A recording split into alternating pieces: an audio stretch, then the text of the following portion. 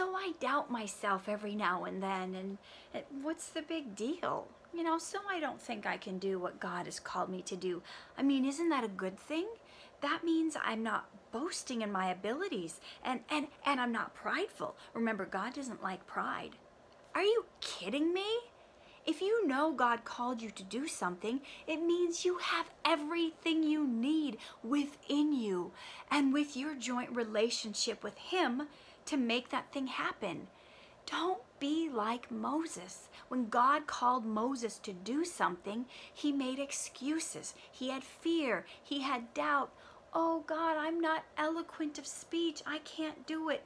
Can you please send somebody else? Do you want somebody else to step in to the blessings in the future God has for you? And, and for you to be disqualified because you're doubting the very God who made you, that He's given you the ability to do the things He's asked you to do? Listen, guys, God wouldn't tell you to do something if you didn't have the ability to do it through Him. The only way you don't have the ability to do something is if you're relying on yourself to do it in your own capacity with your own knowledge. But if we're operating like that, we're not going to lead the best and most blessed life anyway. So why do that?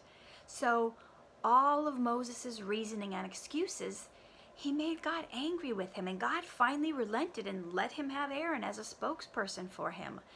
But that was not his plan.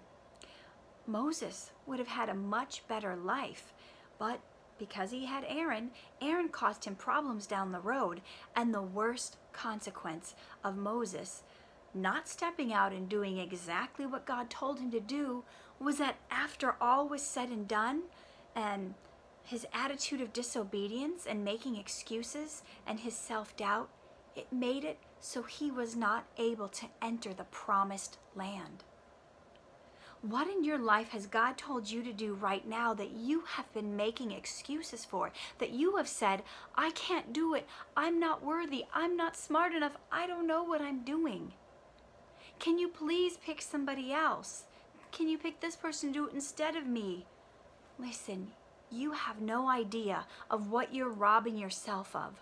When God tells you to do something, it's time we start believing Him, believing that we're capable because He is capable and He is well able and He is with us every step of the way. Thanks, guys. I'm Katherine Norland.